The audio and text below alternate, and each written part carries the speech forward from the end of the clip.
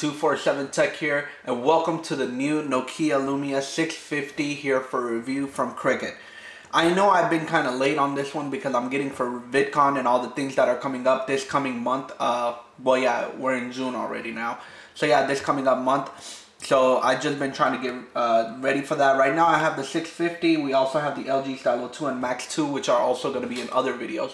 So be sure to check those out too. But for this video, let's go ahead and do Nokia Lumia 650 uh, unboxing.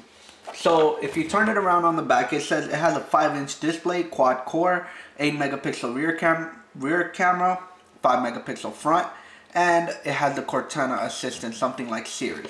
So I'm gonna go ahead and turn it back around. Now this phone is the uh, does have uh, Windows 10 on it, so that's like one of the biggest features on it. But let's go ahead and take it out. I'm gonna go ahead and put this to the side right quick. Don't need the SIM card. Underneath here, you have your terms and conditions and probably something with Nokia Lumia like product safety information. And you got a regular old charger with a battery right over here. So I'm going to go ahead and install the battery into the phone and I'll go ahead and meet y'all. So I went ahead and popped the battery into the phone and let's go ahead and turn it on. So the power buttons on the right hand side over here. You feel a little vibrate and on the screen you see Microsoft. So you have the volume up, volume down button right here. And overall, this is a pretty sleek phone, pretty thin phone, and I like the way this phone is. On the back, you have the back camera, the flash, and you have Cricket and the Windows symbol right there. Uh, oops, almost dropped it. Uh, on the bottom over here, you have the charging port where you can plug your charger into, and you have the Nokia, uh, the Microsoft starting sign. Again, uh, I actually keep saying Nokia, but this is actually Microsoft now. Nokia actually has nothing to do with Microsoft now. And I believe Nokia is going to start doing their own Android phones. But yeah, now this is the Microsoft Lumia. This is no longer a Nokia. So my mistake that I've been saying Nokia, but this is now a Microsoft phone. It's no longer Nokia. So uh, definitely this is a very sleek phone and I definitely like this one. Something like the Nokia Nokia Lumia 640. It had a blue back and all that kind of stuff. This is pretty plain, simple, and it's very thin compared to the Nokia Lumia, so I really like that feature about this phone. And it seems like a good phone to hold. It has a 5-inch display, has a 16 gigabyte internal storage. It has 200 gigabytes of, you can put a 200 gigabyte memory card into it. Uh, has all the good 4G LTE. It has an 8 megapixel uh, with flash at the back, and it has a 5 megapixel front, as I, as I said before. It runs on a 1.3 gigahertz quad core processor. So it's an okay processor, not one of the best, but it, it runs on a quad-core processor. Now, one thing that did surprise me on this phone is the battery. The battery on this phone is a 2000 mAh battery. Most of the phones nowadays, and the way the battery looks at the back, it should at least be a 3500 or 3000 mAh battery. But this phone has a 2000 mAh battery, so that kind of surprised me. I thought it would have been a little bit better you have the Cricket starting screen. And also this phone does run on Windows 10, which is the newer version of Windows, which some people actually like better than the old Windows. I haven't used this, so this is going to be my first time. So let's go ahead and close all of this stuff, except all of it. And we're going to go and skip everything. And we're going to go in and sign in later. Next and it's going to go ahead and install all the apps and all that kind of stuff. So it's going to take some time. So yeah, overall, pretty good specs, pretty nice specs. Only the battery that kind of like, you know, threw me off a little bit. But Windows 10 and all that kind of good stuff with the 5-inch uh, screen. Pretty decent phone for a pretty decent price too. The price on this phone is 119 so not bad. Uh, so it seems promising that Microsoft is going to bring a comeback with all this new phone. But uh, let's see how it goes. So I'll go ahead and get back to y'all as soon as the phone is done downloading because this process could take up to about five. Alright guys, so the phone just got through uh, installing all the apps and stuff. It took about five minutes. So let's go ahead and hit the next button and done. So not much has changed from the old setup. It's going ahead and gonna go ahead and load.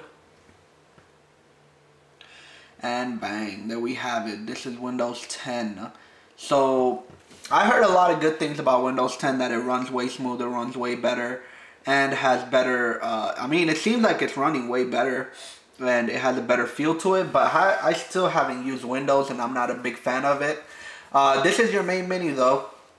You have the calling app, the Skype app, the Facebook app, you have the Outlook calendar, people people and these are all tactiles that do live updates if uh, if you're not a windows fan and don't know that but this all has live updates on it so if you connect your facebook it'll have like a whole tile and we have a windows 10 message that interrupted me but we also have Deezer, we have MyCricket, we have the Xbox Xbox app where you can go ahead and connect up your Xbox to your phone.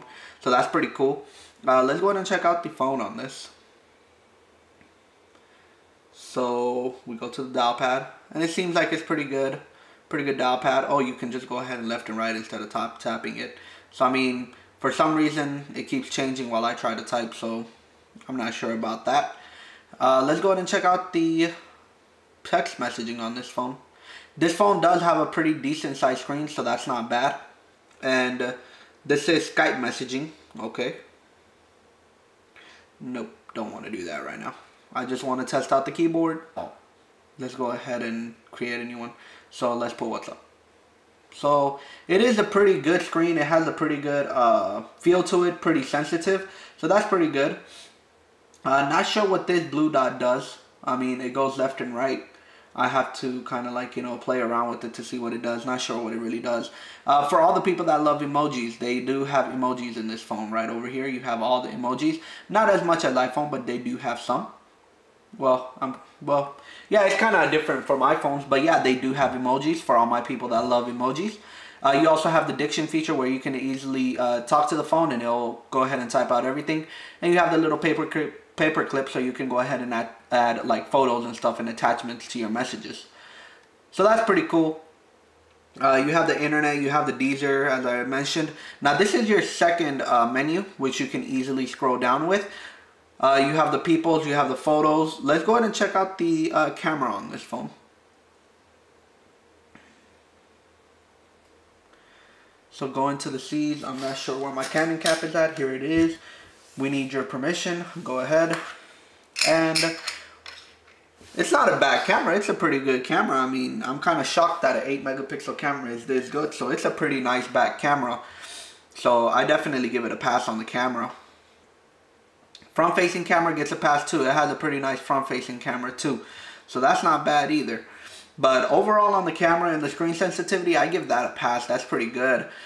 Uh, overall, I still wouldn't use a Microsoft phone. I keep saying Nokia, I know that, but I just realized. but I still, I still wouldn't use a Microsoft phone just because of the fact that it's Microsoft, and I'm not really used to Microsoft. I'm most of the people are nowadays used to Android or iOS with Apple. And I'm used to iOS. I, I'm not a big fan of Android either, but I'll still use it. But this one I feel that is just too complicated to get around and I just don't like the setup of it. That's my personal opinion. Uh, definitely y'all would have y'all's opinion, but that would be my opinion. Uh, this does have something called Groove Music Maps also. Groove Music is probably something that Microsoft introduced it, introduced as some type of music. But overall, the things that I like about this phone is that it has a pretty nice screen. It has a pretty nice uh, uh, body and it has like, you know, it's a sleek body and it's a nice finishing with the chrome on the edges. So definitely like that about this phone and I definitely think this phone is pretty nice. It's just that if you're a big Microsoft fan, you should shoot for it. If you don't know much about Microsoft, then of course don't get it because these things are sometimes complicated to work with. Even me working with this phone is complicated for me. So, I mean, it's your decision at the end of the day to go with it, but that would be my opinion on the phone. But uh, overall, pretty good camera, pretty good uh, screen sensitivity. Uh, but other than that, guys, that's it for this one. Go ahead and leave a like if you enjoyed the video. Hit that subscribe button. VidCon is right around the corner, so definitely I'll be updating y'all from there. Uh, but other than that, guys, that's it for this one. Go ahead and check out the other videos on my channel. Thank you for watching. Take care. See y'all next